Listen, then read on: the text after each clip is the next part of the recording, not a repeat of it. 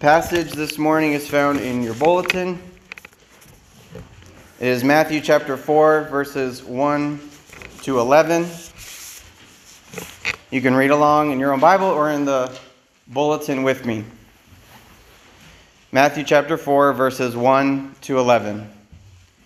Then Jesus was led up by the Spirit into the wilderness to be tempted by the devil. And after fasting 40 days and 40 nights, he was hungry. And the tempter came and said to him, If you are the Son of God, command these stones to become loaves of bread. But he answered, It is written, Man shall not live by bread alone, but by every word that comes from the mouth of God. Then the devil took him to the holy city and sent him on the pinnacle of the temple and said to him, If you are the Son of God, throw yourself down. For it is written, He will command His angels concerning you, and on their hands they will bear you up, lest you strike your foot against a stone. Jesus said to him, Again, it is written, You shall not put the Lord your God to the test. Again, the devil took him to a very high mountain and showed him all the kingdoms of the world and their glory. And he said to him, All these I will give you if you will fall down and worship me.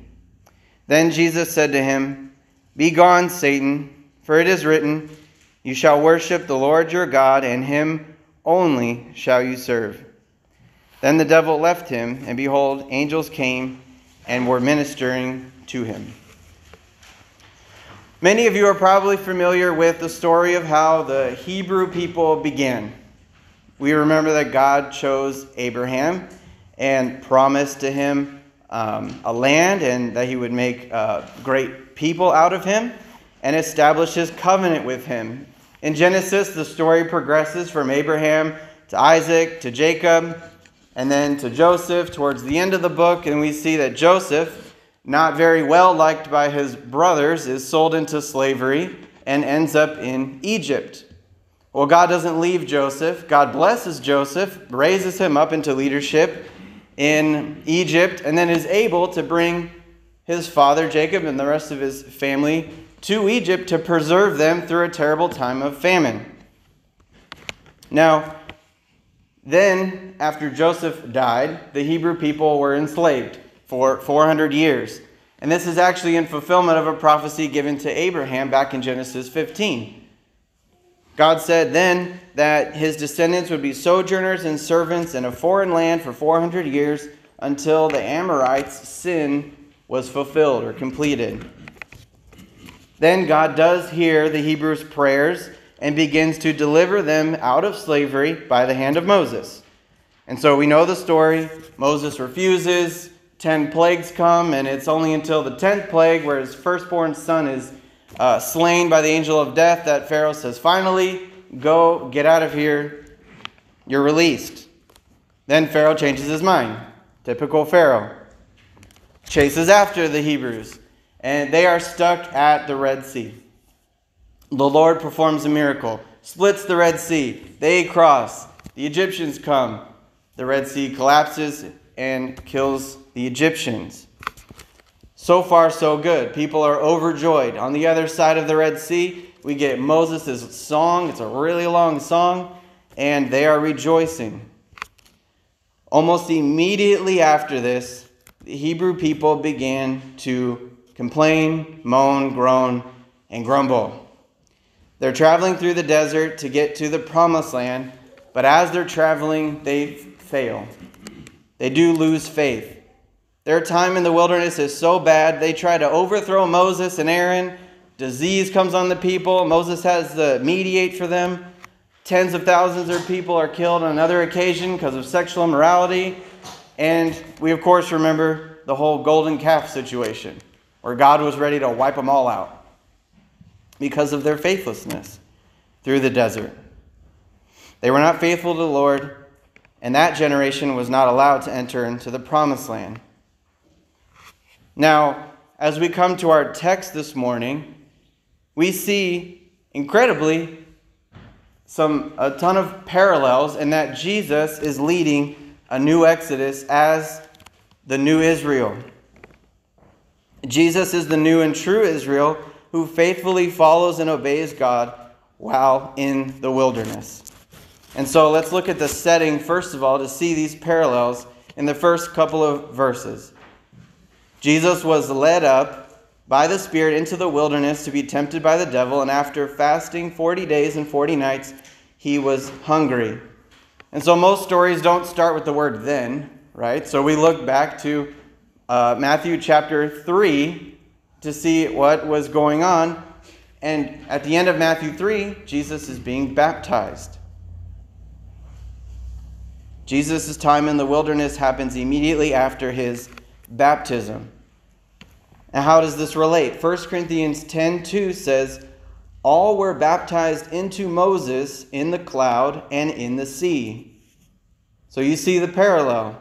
Just as Israel went into the wilderness after her baptism, Jesus did also. Next, we read that Jesus was led by the Spirit into the wilderness. And this parallel is symbolic of what is said in Exodus 13 21. And the Lord went before them by day in a pillar of cloud and to lead them along the way, and by night in a pillar of fire to give them light, that they might travel by day and by night. So we see God leading and his presence being there leading in the wilderness. Jesus encounters an enemy, as we see. Well, the Israelites encountered enemies too Edom, King Arad, King Sihon, and Moabites, and they had some success, but their biggest downfall was just those who were in authority over them Moses and the Lord, and they were not faithful. Of course, we see the parallel between the number 40, 40 days. Jesus was in the wilderness, and they wandered for 40 years until that generation passed away. Then we see Jesus gets hungry. When you read Exodus, you see that the Hebrews waste no time to complain and grumble about water and food. The Hebrews did not keep faith during their testing.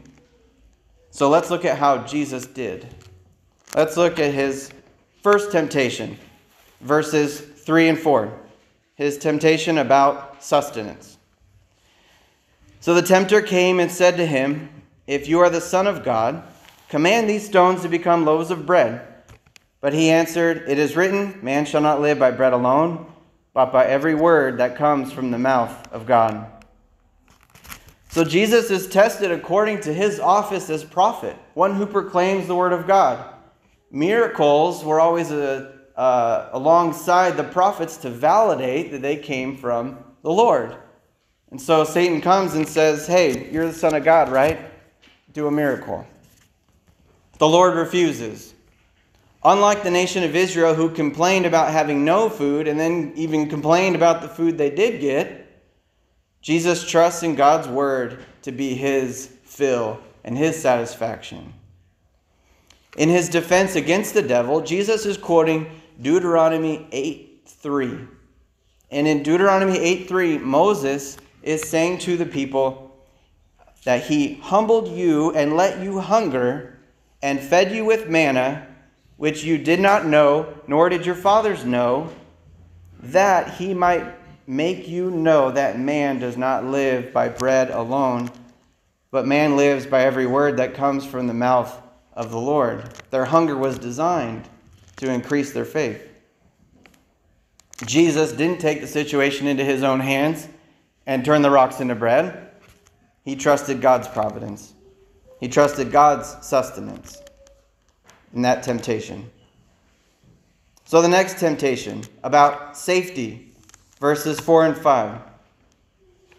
It says, Then the devil took him to the holy city and set him on the pinnacle of the temple and said to him, If you are the Son of God, throw yourself down, for it is written, He will command His angels concerning you, and on their hands they will bear you up, lest you strike your foot against a stone. Now we see Jesus tempted according to his office he's going to hold as our great high priest. He's taken to the temple and he's tempted according to God's plan for atonement. Here is what I mean. Jesus quotes Deuteronomy 6 16. Okay? Deuteronomy 6 16 says, You shall not put the Lord your God to the test as you tested him at Massah. What is Massah? What is the significance of this place and that word? Well, the word Massah is Hebrew for testing, an odd name for a place. So, what happened there? In Exodus 17, we find Moses naming a place Massah, and in that particular passage, the people are complaining to Moses, again, about there being no water. So Moses cries out to God, these people. God answers Moses, though, with instructions. He says, Go to the rock of Horeb, strike the rock, and water will come out, and this will be for the people. So, why does Jesus remember this story here, where he's being encouraged and tempted to throw himself off the temple and test God's uh, safety of him? It's because Jesus remembers this story, and Jesus remembers that he is supposed to be struck. Jesus is the rock that is supposed to be struck, whose water that will flow out, his blood, is going to provide for our atonement. Our great high priest, Jesus, is going to offer himself as our sacrifice. And after he is struck and the spiritual water, his blood, flows, it will satisfy sin's thirst for death. So Jesus says, I'm not going to test God's plan for atonement.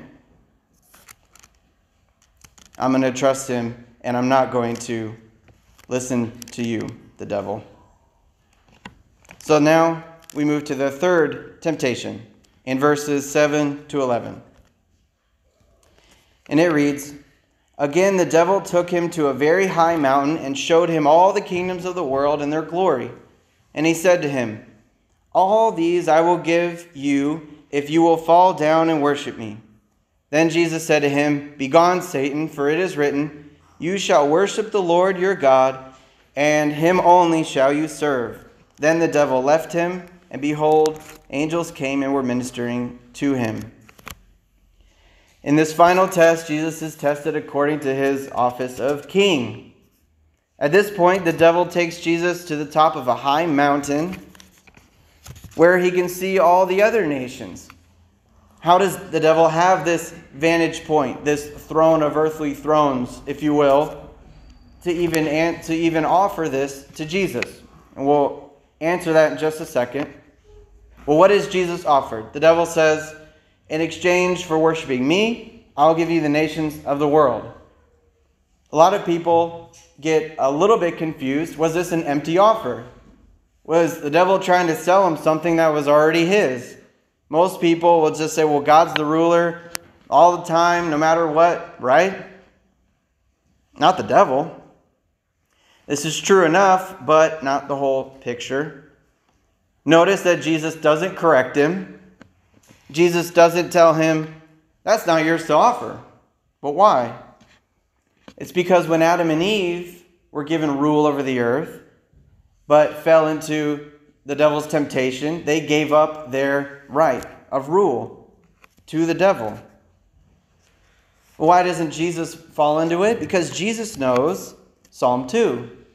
Psalm 2, 7 and 8 says, I will tell of the decree. The Lord said to me, You are my son. Today I have begotten you. Ask of me, and I will make the nations your heritage, and the ends of the earth your possession. And there are dozens of other passages in the Old Testament promising the Messiah rule over the nations. Jesus knew that through obedience and perfect service to the Father in his ministry that he was to inherit the nations. We remember the great commission. All authority has been given to me, Jesus said. Go therefore and make disciples of all the nations. After the resurrection, Jesus received his inheritance. 1 Corinthians 15 also talks about Jesus ruling now over the world. Jesus knew that he was to suffer the cross. The devil was trying to offer him rule without the cross in the picture. But the problem, death would still reign. Jesus knew that he was to suffer the cross to receive his inheritance of the world for paying the penalty of the sin of the world. So Jesus doesn't succumb to the devil. He says, Be gone. Again, holding true to God's promises and defeating his enemy, becoming victorious. And so, as we kind of conclude here, what do we glean? What do we uh, get from this, assuming everyone here wants to do well when temptation comes? I know I do. What did our prophet do? He knew God's word. So, how is your diet of the word of God? Do you follow a Bible reading plan, a memory plan? Jesus set the bar pretty high. He quoted Deuteronomy. That's going to be tough for most of us. Um, the Lord's Day worship, what we do here, is absolutely crucial to receive word and sacrament for our spiritual health and our strengthening and growth, but we don't eat once a week. We must feed on the Word of God consistently and often. And also, this is tough to remember, but as we talked about, sometimes God even puts hunger in your life to increase your faith. That's what he said about the manna, right?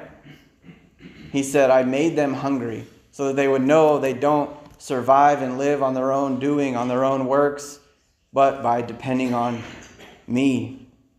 So if you are currently going through a time of hunger, spiritually or physically, remember the Lord does it to strengthen your faith. It's designed for that. When it comes to Jesus' priesthood and how he responded to the second temptation, he trusted God's plan for atonement. How strong is your trust in the great high priest who has sacrificed himself for you to fully pay for your sins? How strong is your trust in your mediator? Do none of us would mostly, uh, most of us would never admit this, but do you kind of still act like you got to earn a good standing before God? Do you create your own little system of penance when you've sinned? This is where we get the people who say, Well, I know God forgives me, but I just can't forgive myself.